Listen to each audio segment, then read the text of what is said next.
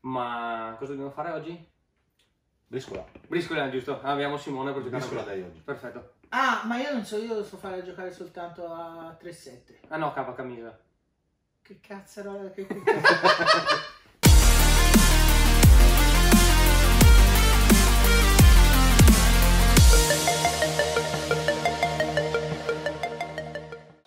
Ragazzi, bentornati sul Mondo Virtuale Official Channel, sono Maga, lui è Dalm e oggi abbiamo il grandissimo Simone Bianchi come ospite. Commentate, condividete, mi piacete questo video. Oggi siamo qui per il Batman del 2021. Abbiamo Simone e Simone, vai, presentati, fai tipo No, Giorgio no, no. Mastrota de- che è la No, no, l'ho già fatto ieri. L'ho già fatto ieri più che abbondantemente per, per presentare quella che mh, è una rarità perché mh, mentre pranzavamo mi è tornato in mente che in realtà io un firmacopie signing, chiamatelo come volete, all'interno del negozio non, non lo faccio da un... ma veramente anni, anni, anni. Ne ho fatti due a fila, due a distanza di sei mesi a Midtown Comics a Times Square New York perché ero là proprio fisicamente. E, e poche in, in- in Tos- in Toscana un paio di volte al, al- al mio negozio storico di Lucca, eh, basta, cioè perché è una cosa. Infatti giuro che non so. Ti ho detto di sì perché. Eh, eri preso Sì, era, in piena, era in piena pandemia, non c'era il covid, era sempre a casa No, e no, io no. l'ho fregato in diretta di Instagram, vieni sul negozio, lui fa sì e era registrato. Ah, era- no, non era piena pandemia, quando abbiamo fatto la diretta di no dai, sarà stato sei mesi fa.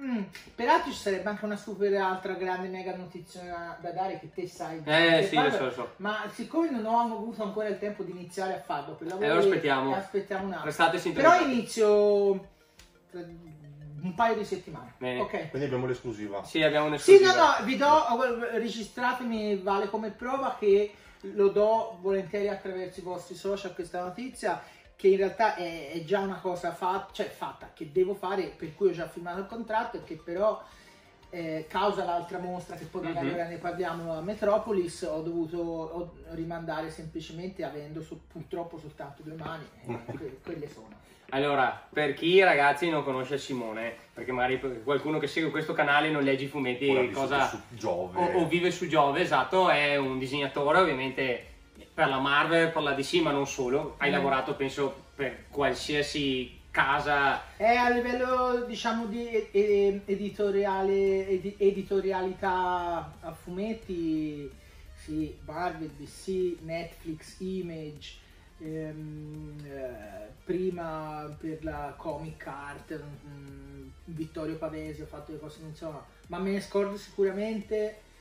Anche perché a livello anche solo di copertine ho fatto tante copertine magari singole per case editrici di cui ignoro nome in questo momento. però è, è vero che per, giusto per dare così un'inquadratura, dal 2006 al 2018, che quindi sono do- per 12 anni ho lavorato solo esclus- proprio esclusivamente per contratto per, per la Marvel, perché all'epoca c'era molto questo, quest'idea della guerra fratricida Marvel DC a rubarsi sia scrittori che disegnatori. Mi sembra sia un pochino scemata. mm, eh, non è- no, in quegli anni lì, negli anni zero, diciamo, finire, sul finire degli anni zero, invece era veramente un big deal, come dicono loro. Eh, Quando era iniziata Marvel Knight, Eh, eh, lì poco dopo, sì, poco dopo. con Quesada e Che- tutti perché che... Quesada appena ehm, si mise alla guida della Marvel decise allora visto che internet oggi ci dà la possibilità di entrare in contatto col mondo intero iniziamo a assumere talenti stranieri da qualsiasi parte del mondo che secondo noi sono adatti alle nostre pubblicazioni non ci limitiamo soltanto più agli artisti nordamericani. E questo sicuramente e stessa cosa ovviamente stesso atteggiamento di apertura diciamo internazionale eh, valeva anche per gli scrittori. E eh, Joe ha veramente secondo me Quesada mh, che non solo perché è un mio carissimo amico è, è assolutamente sottovalutato in generale proprio nella, nella percezione della Marvel come, come entità non solo Marvel Comics parte editoriale perché chi veramente ha gettato le basi anche per il Marvel Cinematic Universe Mhm. è, è stato Joe che è una, un- una- Io lo adoro. Sì. Cioè- Su Daredevil, po'. No, al di là No, della no, bravura, al di là della bravura, un disegnatore con una personalità e delle idee veramente... Ma al di là di quello, a livello imprenditoriale, è quello che ha trasformato la Marvel in una casa editrice quasi sull'orlo della bancarotta a fine anni 90, nel colosso gigantesco che ora, non per niente poi è stato anche eh, in qualche modo centrale nella, proprio nella transizione economica di vendita alla Disney è veramente l'uomo veramente dietro alla Marvel dopo Stan Lee secondo me. Mm. e ora ho fatto questa digressione perché non ne parlo mai ma lui veramente ha fatto la grande differenza.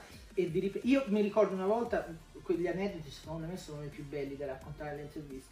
Era in vacanza in Toscana mi chiamò era sotto Arezzo in una, in una, una casa che aveva affittato e lì mi disse guarda ci siamo resi conto che il passaggio da fare ora eravamo proprio in giardino dai fumetti e cinema uh-huh. perché avevamo visto i risultati e quindi bisognava prendere questo rischio qui e, e praticamente stava nascendo quello che poi è stato il CMU Ecco, mi sono di, di, dilungato. No, no, è giusto così. Giusto è, è, bellissimo anche perché le nostre interviste, ma lo sanno chi ci segue, sono a getto. Sì, Quindi esatto, non abbiamo niente di preparato, no, è no, tutto no. farina del nostro sacco, del nostro cuore. No, ma ce n'avrei, cioè, ovviamente in 20, perché poi prima delle, degli Stati Uniti ho lavorato tanto comunque anche in Italia, sia per case editrici che anche come pittore, per, quindi per mh, mostre, gallerie, mh, committenze private quindi è chiaro insomma, che di aneddoti e cose ce ne ho da raccontare. Lo, lo, incastriamo in una live per YouTube dove ah, parleremo degli aneddoti. Lo chia- chiameremo gli aneddoti sì, di, sì, di Simone Bianchi. Sì, due volte, già fregato due volte ragazzi. Va bene, va bene. Ha introdotto il mondo cinematografico, quindi mm-hmm. Abbiamo una domanda da farti sul mondo cinematografico mm-hmm. legato ai fumetti. Mm-hmm. Livello, noi, stando su YouTube, parlando di fumetti, tanta, tante, tanti ragazzi che vogliono avvicinarsi al mondo del fumetto è perché vedono il film, perché certo. vedono, sono appassionati dei supereroi, si appassionano. E, e, per fortuna che... Esatto, qua voglio arrivare. Questo eh, interesse è anche, eh, si è riversato poi anche nell'ambito lavorativo. Cioè tu lo senti questa pressione dal cinema a livello fumettistico? Allora, no, è eh, un'ottima domanda, è una cosa insomma, mm, a cui già spesso abbiamo pensato. S- sì, è inevitabile e, e è, è, stato inevitabile che questo interesse che è diventato mainstream laddove invece quando io avevo 10 anni, quindi voi eravate ancora nelle idee dei vostri genitori, buon per voi, leggere fumetti era veramente un, una cosa uh, da fare di lato, hai capito cosa? Già la musica era molto più mainstream, anni 60, mm. anni 70 la musica era già completamente la musica contemporanea dal rock, qualsiasi genere, il prog, era già completamente mainstream, mentre i fumetti ancora soffrivano, fra mille virgolette, di, di una um, marginalità, diciamo, che invece il cinema li ha, mm-hmm. Ha sdoganato completamente. Tornando alla tua domanda, senza ombra di dubbio, la prima cosa che mi viene in mente anche egoisticamente ovviamente è il mercato del, delle tavole originali e, e, anche il valore che hanno preso, lascia stare le nostre, la mia generazione, i, miei colleghi, eh, quindi i nostri lavori e ci siamo trovati in una congiunzione diciamo astra, temporale astrale veramente positiva però è chiaro che è stata una diretta conseguenza. Fino a 25-30 anni fa non esisteva come esiste oggi. Oggi è veramente un mercato importante un mercato che ovviamente non è paragonabile al mercato della fine art, l'arte veramente di serie A, eccetera, eccetera, però ci si sta avvicinando a passi da leone, insomma, guarda, vi faccio un esempio, visto che sicuramente lo sapete, non più tardi di una settimana fa il mio amico John Dolman, nonché batterista di System of a Down di Torpedo Comics, mm-hmm, hanno annunciato, John è molto molto amico di Jim Lee, che mettano, lui, eh, sì, che mettono in vendita attraverso Torpedo Comics, così vi facciamo un po' di pubblicità che fa bene comunque a tutto il movimento. La famosissima copertina di X-Men numero 1 mm. di Claremont e Jim uscita all'inizio degli anni 90 e si parla comunque di una valutazione che va dai 2 ai 4 milioni di dollari, che è una valutazione veramente da fine art. Ecco, in questo, cioè in queste valutazioni, in questo aumento anche dei prezzi, de- io ti parlo del mercato originale, ma si potrebbe grosso modo fare la stessa considerazione per il CGG, sì. eh, l'ho pronunciato bene. CGC. Sì. Ma te lo dici in italiano? In italiano, CGC. CGC, eh, io l'ho sempre sentito dire. Eh, ma noi siamo... CGC che anche quelle, quelle valutazioni, torno a ripetere, a citare il mio amico Zurzolo a Metropolis, quando vendono il numero 1 di Action Comics a 3 milioni e 4, 3 milioni e 6, cioè sono cifre veramente un po' stordenti e, ma sono cifre che sono molto figlie dell'interesse ormai mainstream, come quello che è successo con il rock e la musica negli anni 60-70, quando si è diffusa a livello mh, mm, eh, globale e in modo molto capillare, è chiaro che anche, anche gli interessi economici e anche all'interno della musica e quindi anche l'interesse diciamo dei media, no? De, del racconto di quello che succede nella musica è, è cresciuto esponenzialmente di pari passo, senza ombra di dubbio tutto quello che è stato la parte e che è la parte cinematografica eh, sia Marvel che DC però vorrei dire non per essere di parte tanto non lo sono più sono freelance in questo momento però più secondo me per me della Marvel ha inciso enormemente nei risultati a cui assistiamo oggi per quanto riguarda come domanda finale, tanto dopo lo porteremo in live ragazzi, quindi là potete chiedere anche voi quello che volete al buon Simone. Ma fai una mostra, lo sappiamo perché abbiamo visto un po' di anticipazioni sulle, mm-hmm. tue, sulle tue, pagine Instagram e su, anche su Facebook. Allora, eh, ehm, la mostra si terrà presso eh, la, gal- la, Galleria Metropolis mm-hmm, a New York, Manhattan, che è del mio, di proprietà del mio caro amico Vincent Giurgio e il suo socio, il cui nome mi sfugge sempre. E, ehm, eh, la galleria in cui già in realtà nel 2018 io esposi insieme a Vincent eh, la metà dei dipinti che avevo realizzato allora per la per, per Marvel Masterpieces. La metà erano lì e la metà in contemporanea a Lucca alla chiesa dei Servi. In queste due location diametralmente opposte, quindi nella chiesa tardo rinascimentale e la galleria proprio è al terzo piano di questo palazzo sulla 37esima strada. E, ehm, eh, che è successo? È successo la mostra, devo dire, andò molto molto molto bene da Vincent. Vincent è una persona con cui sia io che ormai la mia socia braccio armato della Simone Bianchi Arte e Gloria ci siamo sempre trovati molto bene a lavorare.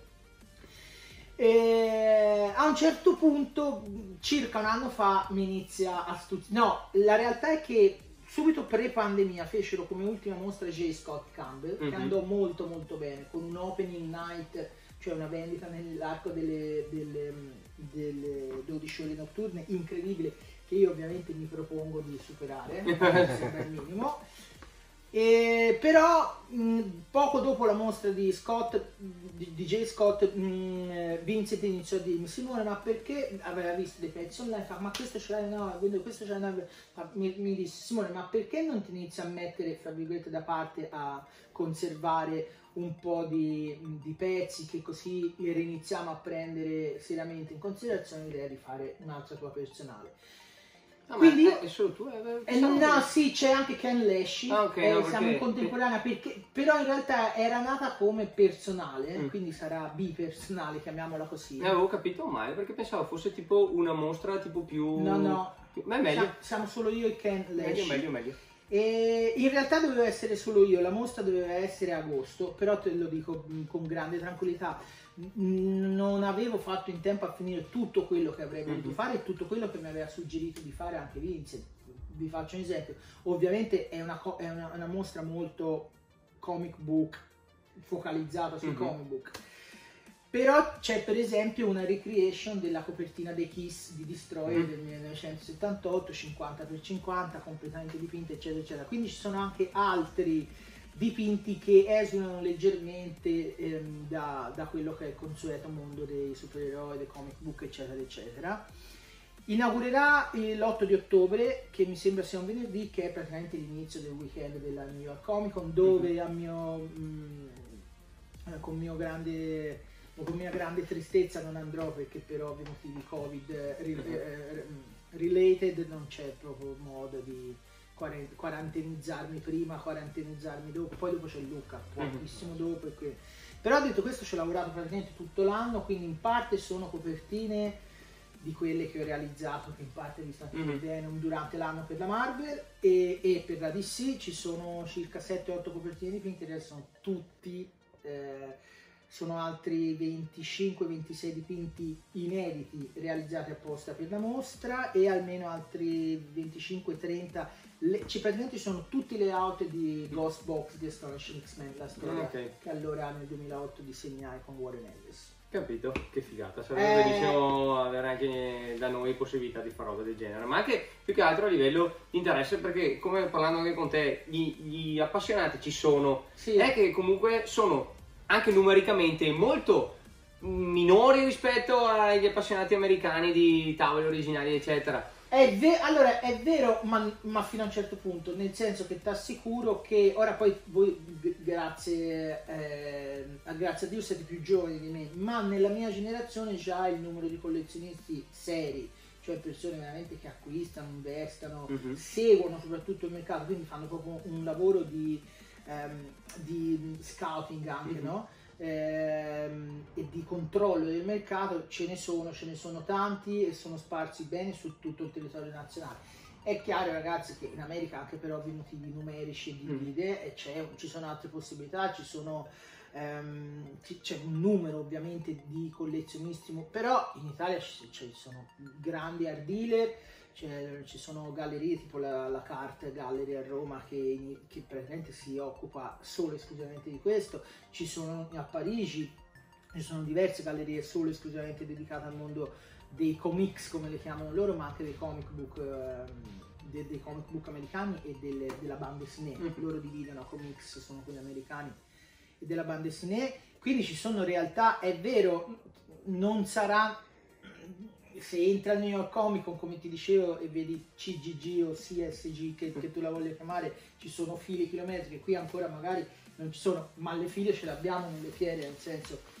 c'è e poi soprattutto mi sembra ci sia un discreto di cambio generazionale. Vedi mio nipote che ha 13 anni l'altro giorno è venuto a trovarmi un altro il figlio del mio giardiniere che ha 13 anni anche lui e che invece sono veramente curiosi. Ovviamente probabilmente anche stimolati da da tutta la parte di video eh, cinematografica. Bene, ok. okay. Bella. Grazie, ragazzi. Proprio mi sono allora, divertito live, perché... Al, al, prossimo live vi, mm, È stato proprio un accenno. Sì, esatto. Vole- anche vogliamo... perché siamo con i tempi strettissimi, dobbiamo aprire, ci sono eh, i clienti fuori con le torce e i forconi per, per aprire il negozio, ragazzi. Quindi dobbiamo tagliare. ma eh, voi iscrivetevi al canale, seguiteci su tutti i social, vi metto anche i link sotto ovviamente di, di Simone e il nostro Grazie. hashtag è sempre il solito, io sono virtuale. Grazie ragazzi, ciao, buona Ciao a tutti! ciao. ciao.